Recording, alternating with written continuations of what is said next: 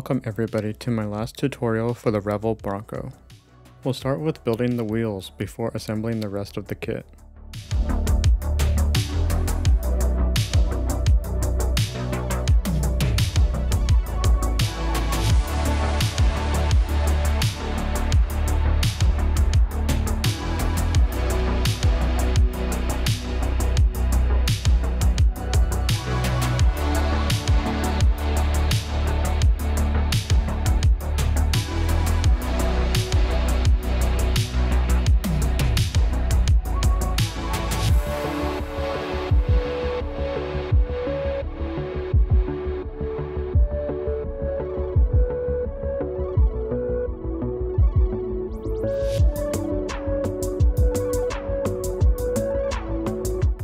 Now that everything is painted, we can assemble the entire kit with super glue.